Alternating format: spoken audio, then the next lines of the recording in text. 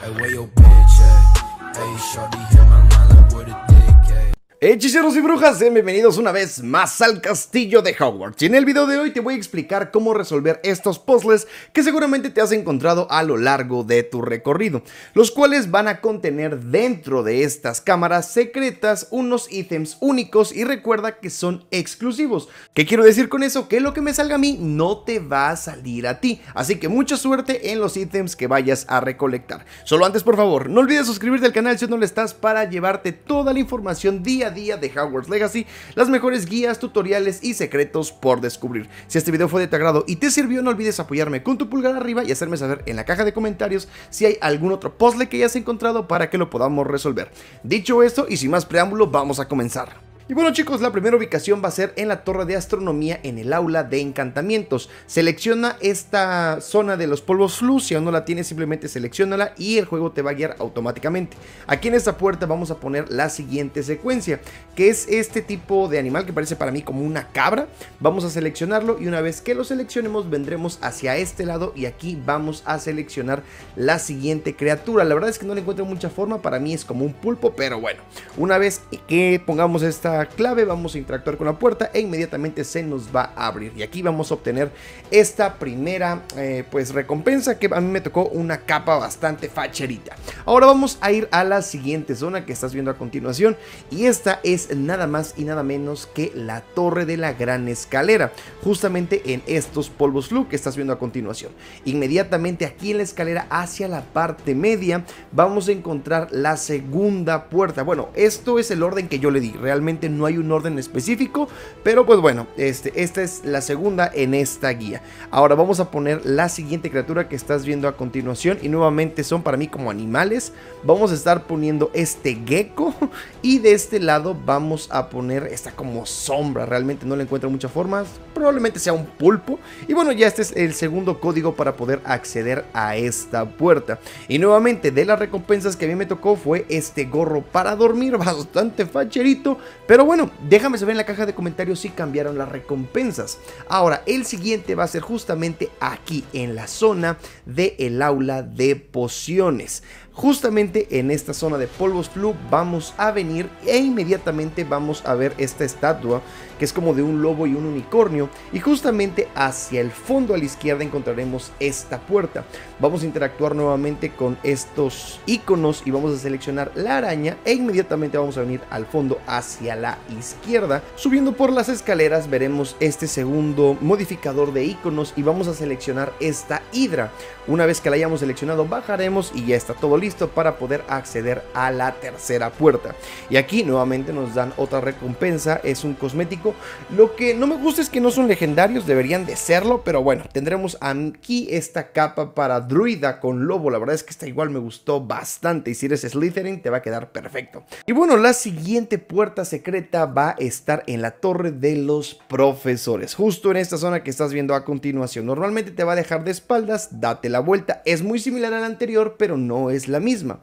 Hacia la derecha veremos esta puerta que se encuentra completamente alejada de las escaleras y aquí tendremos que interactuar. Vamos a buscar este emblema que para mí es como un búho no sé ustedes de qué forma le ven, para mí es una lechuza, un búho. Y vamos a bajar y hacia la izquierda, inmediatamente bajando las escaleras, volveremos a bajar y nuevamente a la izquierda encontraremos este cambio de amuletos. Y aquí vamos a seleccionar este que es como un cangrejo.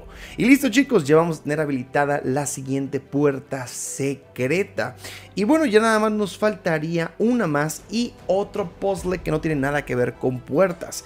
Este que vas a ver a continuación es bastante interesante y solamente me he encontrado uno a lo largo del juego. Pero bueno, este recompensa fue un sombrero bastante facherón igual. No me gustó mucho, pero bueno, ya ahí está. Y bueno, ahora vamos a ir a este punto que estás viendo a continuación en la gran escalera, justamente en la torre de Ravenclaw. Aquí justo en esta zona vamos a encontrar inmediatamente la última puerta que yo pude localizar en esta primera vuelta. Claro, sé que va a haber más, pero bueno, Simplemente vamos a repetir el mismo patrón, busca estos medallones que estás viendo en pantalla y listo para poder obtener la recompensa. Nuevamente, me encantaría por favor que si han encontrado algunos diferentes a estos, me lo hagan saber en la caja de comentarios para que vaya yo a resolverlos y eventualmente traerles cómo poder hacer esta respuesta, que de momento puede tardarse muchísimo, pero pues bueno, la intención es que los puedan resolver tan rápido como sea posible sin romperse la cabeza. Ahora, vamos a regresarnos a la zona central del castillo, justamente en donde está esta estatua de las sirenas, del lobo y también de este unicornio, vamos a subir e inmediatamente vamos a ir por esta puerta que estás viendo a continuación.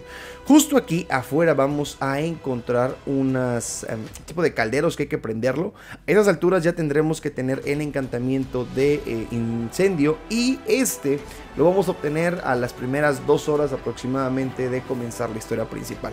Simplemente tendremos que prender estos calderos y en el suelo justamente al inicio nos va a especificar de acuerdo a la figura qué número debe de tener.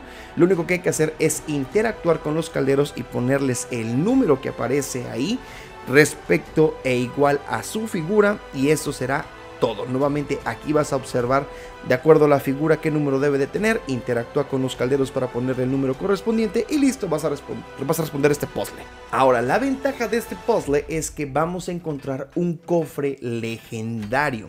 Nuevamente, esto es 100% aleatorio. Ahora, hay un truco muy interesante.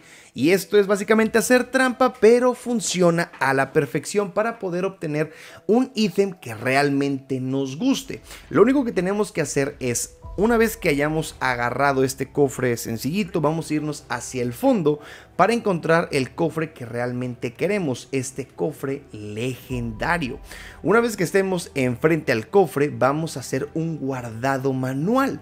Y una vez que hagamos el guardado manual, vamos a abrir el cofre. Si el ítem que nos aparece no nos gusta, volvemos a cargar la partida y volvemos a abrir el cofre hasta que encontremos algo que realmente sea de nuestro agrado. Así que ahora ya sabes, cada vez que encuentres un cofre que tenga estas interrogantes, que sepas que nos va a dar un artefacto legendario, repite este mismo patrón para que de esta manera puedas estar interactuando hasta que encuentres algo que honestamente valga la pena, ya que muchos de los artefactos realmente están muy random y algunos están bien gachos. Así que pues bueno, acá te dejo una muestra de lo que pude yo obtener y hasta qué momento decidí decir, bueno, aquí me quedo. Me pareció una capa, me pareció un sombrero, me parecieron como tres sombreros y después vi una capa que pues sí me gustó y dije, bueno, también se me hizo algo tedioso estarlo intentando tantas veces, decidí quedarme con esta y pues bueno, ahí está. Así que bueno chicos, hemos terminado con esta guía. Ahora ya sabes cómo abrir todas estas puertas secretas y asimismo el puzzle de el puente. Sin contar este pequeño truquito para que te puedas encontrar el artefacto que más te guste.